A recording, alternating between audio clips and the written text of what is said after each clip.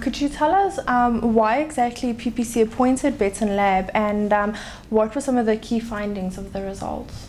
Well, as a market leader, we do benchmark with our competitors, and this started with us benchmarking with our competitors.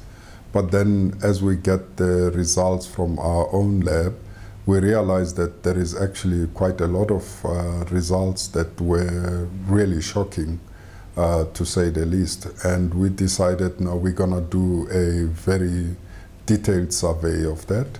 And uh, just for independence, we actually contracted the uh, Beton Lab, and uh, we didn't want to put our hands on the bag to make it independent. And uh, they carried on with the tests for the last two years and uh, basically, in fact, the results showed a deterioration as the times become tougher and tougher, which shows you that um, actually some of the products that are coming into the market, they're starting to take a lot of shortcuts in producing these products. And, and hence we, at some stage, decided to go to the authorities. We went to uh, SABS and NRCS, um, we wrote them letters with the evidence in terms of the results. And we had a meeting with SABS explaining that we can't keep quiet with these results and we expect them to do something about it. And when they didn't come back to us, we basically uh, carried on prompting. Um, and eventually we started seeing in the market that they are trying their best to do something about it but they are not resourced enough to be able to police the kinds of products that are going out there. Um, actually, in mentioning the, the authorities, what is the, the way forward? I mean, um, obviously you'll be giving the, the results, or you have given the results to the authorities. What's, what's going to happen? I think um, we need to be mindful, and the reason why PPC decided to do this is because we are a responsible citizen. And we couldn't keep quiet with some of those uh, results and what we've seen. And what we expect is public needs to be educated. Um, all those people that are building their houses, um, they are building them for their children and their children's children, and they want durability.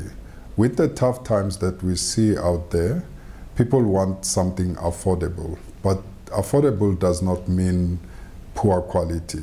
They just want something that will be able to afford and be able to build their houses. So um, the way forward with the, in our view, is to educate the public that uh, cement is not just cement. It, it is a binder that actually comes in between the two bricks and forms this structure that you've made. And um, unfortunately for the poorest of the poor, unlike a big construction company they do test their product, they do test the concrete after they've laid the concrete. But uh, um, ordinary men in the street, they assume that the product conforms, especially when it carries the SABS mark, they assume that it conforms to the quality, which is not actually the case. So most of the work that we need to do in the background is to educate people that um, cheap is not really quality. Is there any other way that consumers are able to identify substandard products?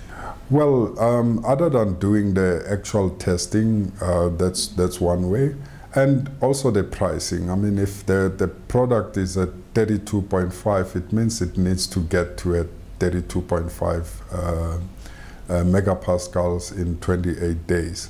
Unfortunately, an ordinary man cannot go and test it but um, when you look at the pricing, when you get a quality product like a PPC product that you know it always existed and it's seven rands more expensive than another product in the market, then you have to be very suspicious of the of the of the product. And and the simplest thing is st stick to the products that you know. Um, it, it is very important. And um, could you maybe just talk to us a little bit um, about the threat that these substandard products actually poses to both the industry, um, well, and the consumer? Well, um, I, I think the biggest threat about it is with the tough economic times, these are no longer limited to an ordinary man on the street that is trying to put up a back room. We find this product going into medium construction companies, starting to use that as an alternative. And what is said is if you look at um, a massive uh, double story house, cement content is actually 3% of the cost. And in an RDP house, it might go up to about 8% of the cost. And when we uh, speak to the uh, professionals in construction, they will tell you that our input materials like your stone, your sand, has actually deteriorated in quality because of the, especially in the Gauteng area. So you've got deteriorated other uh, materials and your binder is just as worse, um, then you have a disaster. And the one thing about cement is if you put it together, it will set. It will look like the structure is standing. But give it a few times, few rains, winds, and, and this very unpredictable uh, climate, you will find that the quality will deteriorate and then we might have some disasters. And we've seen in a couple of years, we've had a disaster in Soweto where the houses were washed away with the first rains.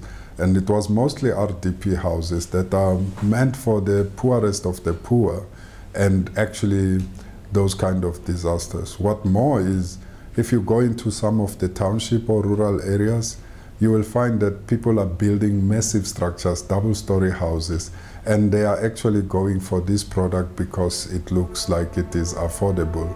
Unfortunately, we're going to suffer the consequences of it in the next few years.